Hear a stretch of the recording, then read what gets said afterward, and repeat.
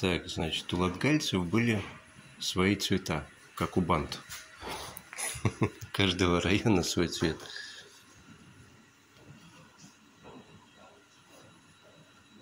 Вот, каждый район, Дебрина, Бирсгала, Дигная, у каждого были свои цвета. И то есть, если ты приходишь в другой район, тебя по цветам сразу определяют, что ты не местный, и начинаются разборки банд. Ну, латгальские разборки банд это в основном были танцы. Танцы в лаптях. Ну, это уже такие 20 века башмаки. Тут какие-то из веревок. Это из кожи, наверное. Плетеные лапти из бересты. А это получается можно одеть, померить, потанцевать.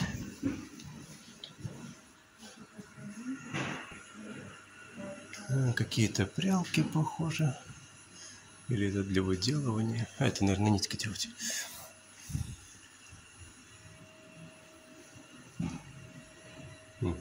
Что-то.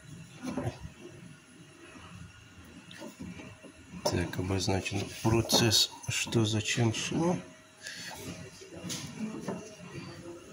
Ну ладно, не буду я все тут перелистывать. Так, у нас коротенькая продумочка. Так, вот так вот красились э, нитки натуральными продуктами.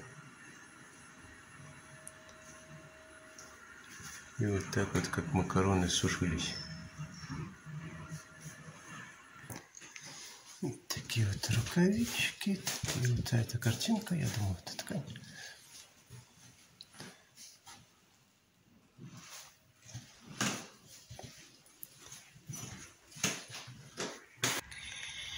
Ну что, теперь пройдем по этому сельскому дворику.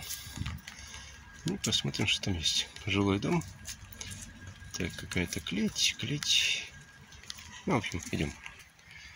Так, и вот такой аппарат наблюдали в Саласпилсе. Вот там он был более раз, разукомплектованный. А тут он такой более целый. Это дымовая труба. Я теперь думал, что это пушка прямо какая-то. Такой вот э, локомобиль называется. С 1927 по 1971 год. Э, был, имелся в собственности хозяев.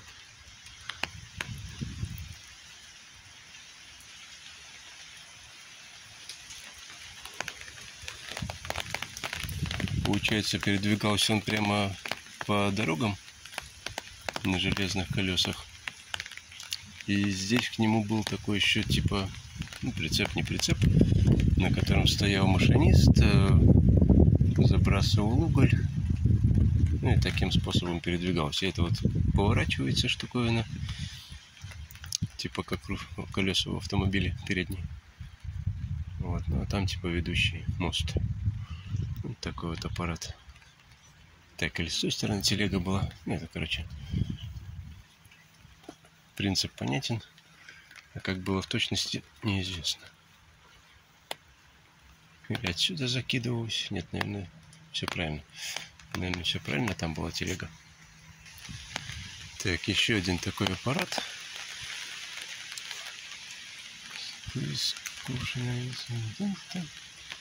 Ага, это уже типа комбайны изготовлена в Риге. Использовалась в 20-30-х до 1936 года э, в Селпилской волости. Это что-то вроде комбайна. Отделял зерна от, от всего остального. Так, это то ли хлеб, то ли дом. Сейчас почитаем, подойдем. Что-то резать, похоже. Что-то было резать. Так, таблички нету? Таблички нету.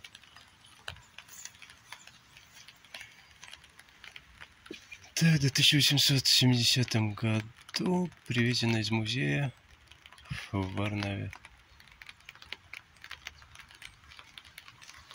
Ну ладно, читать я обычно не люблю.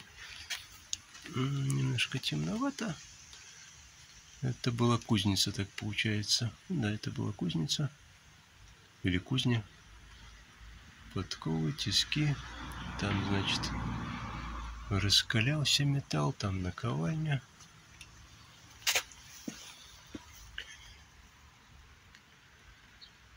Точильный камень. Здесь, кстати, положены старые жернова в качестве ступенек. Да, кстати, не показал, мешок стоит. Солюсет это. Так, там отсюда, похоже, уже зерно сыпалось. В общем, с принципом надо еще разбираться, а времени мало. Ветряная мельница. Ветряная мельница. Ну, мельница все понятно. Ветер дует, э, пропеллер крутится лопасти. Ну и там разные механизмы. Можно насос для подъема воды, жернова. В общем, варианты уже разные. Это для перемолки зерна, скорее всего, использовался. Так, то ли идолы, то ли башки.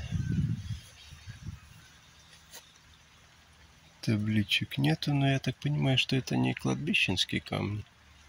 Это какая-то символизирует то ли с кружками пива, наверное. А это с буханкой хлеба, жарного, что-то такое. Банька. Банька это самое важное в деревне. Ага, и разные, значит, кленовый веник, березовый веник – ну, там везде все надо читать. Так. Разные-разные варианты. Дубовый. Есть папоротника даже. Вот такая вот банька. Соломенная крыша. Так, э, тростниковая крыша. Вот столько надо было наложить слоев тростника, чтобы получилась крыша. Ну и тут уже сама банька. Кадушки, он стиралка, автомат стоит. Всякие кадушки. Коромысла. Там уже баня. То ли по белому, то ли по черному. Ну ладно, не будем сильно топтаться, мокро, грязно.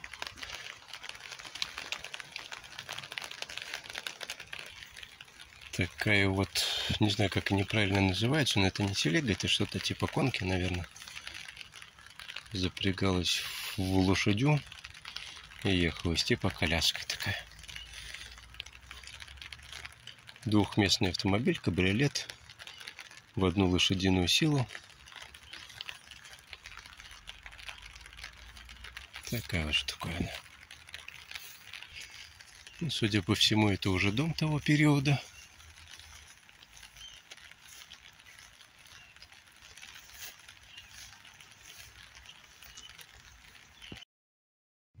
Так, еще один, один. То ли домик, то ли сарайчик. Так что это такое получается. Это похоже для взвешивали зерно, гирьки нагружали, насыпали. Что-то такое уже для готового зерна муки, наверное. Так, ну и сам, сам дом. Сам дом такой, ну, довольно большой дом. Даже по, по современным меркам. Ау, так кланяться надо пониже с моим ростом. Так, тут, значит, кушали, пряли, да, прялка. И это ткацкий станок, и кровать, и это, и это. И печка, печка, лопатка, чтобы туда хлеб добывать. Так, это не знаю, что это. Корыто какое-то. Ступа. Так, прялка Прялка. Ну, в общем, такая вот старая обитель. Так, это похоже какой-то... А, это кухня, скорее всего. Зерно, зерно, ступы. Э, скорее всего, центрифуга для добычи молока, сметана, масло. Масла нет, наверное, молоко, сметана. Так, что это за штуковина? Непонятно. Стул, котел. Здесь бабушкин сундук. И вот еще одна стиральная машина. А вот столовая. Обычно было много детей, семьи были большие. Родители, дети, внуки. Везде по пять. Там шкафы. Там какой-то сейф прямо. Ну и вот за такими большими столами сидела вся семья. Тоже сундук тоже какой-то... Ну, в основном занимались тканями, поэтому все связано с нитками и с тканями в основном. Нитки и ткани в основном преобладали.